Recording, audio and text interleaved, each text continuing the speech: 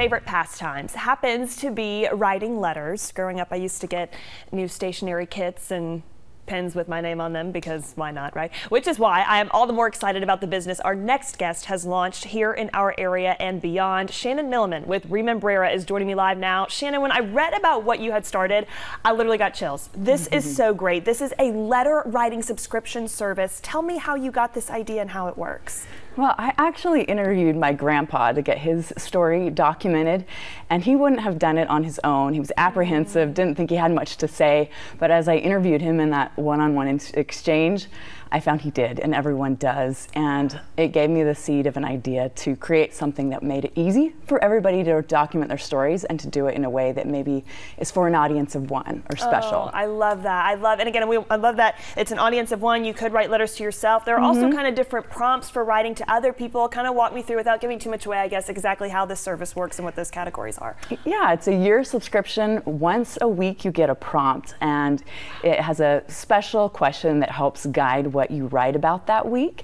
Over the course of a year, you will have written a whole bunch, but it takes it one bite at a time. So by the end of the year, you've written 12 legacy letters, and the service will print it on archival, fancy luxury paper and envelopes. Oh, fabulous. Right. Even I'm a wax we have seal. That. Some people, their penmanship, mine included, my penmanship's Ditto. a little wonky. I don't know how we lost that art. Like, I, I look know. at my grandmother's handwriting, I'm like, this is stunning. And then mine's like not cursive, but not print, like some random mix in between. So grateful that you've got that. And again, you can do letters um, to, to a child, you can do mm -hmm. letters to newlyweds, right? What are kind of some of these categories and the different prompts? Yes, additionally, uh, pregnant mom or a young parent being able to write letters to their child that you can later give to them on their 18th birthday or when they learn to ride a bike. Um, also, do letters to yourself during times of change or transition yeah. to reflect and who knows what else might come next. So that is so exciting. Shannon, again, I'm loving this. I love too that you've included letters to yourself. I remember I was at camp one year and we wrote a letter to ourselves like for the end of the yeah, summer. Nobody can talk to you like yourself. You know, I was reading that and I was like, this is good. And I was like, because it was like my own pep talk. And I was like, I just knew the things to say to myself. And so I love that you created this.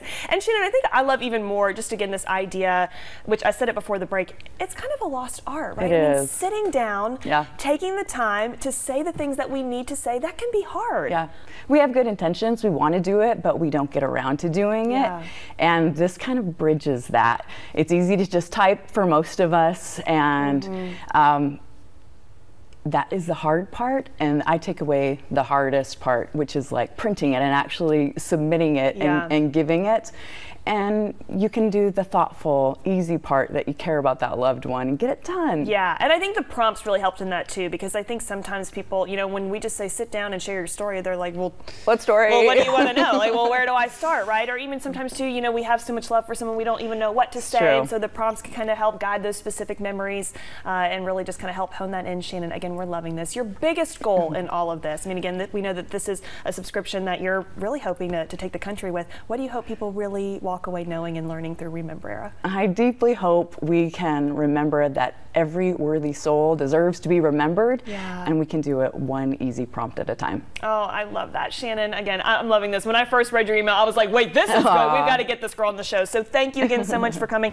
Big question now, where can we learn more? We want to sign up. Everybody that wants a subscription, how can they make it happen? Remembrara.com, and you can click on the buy now or four month free trial or four week free trial. Oh, perfect. So check it out, no strings attached. Once a week you'll get a prompt for four weeks and you kind of see that flavor of it and feel how that fits into your life and find how easy and seamless and beautiful an experience it can be. I'm loving it. Shannon, again, huge congratulations to you for starting this up. I love, some of my favorite interviews are just with entre entrepreneurs who have thought of this idea and made it happen. So congratulations to you. We know a lot of lives going to be touched in the process. So thank you so much. Congrats. Thanks, I'm honored.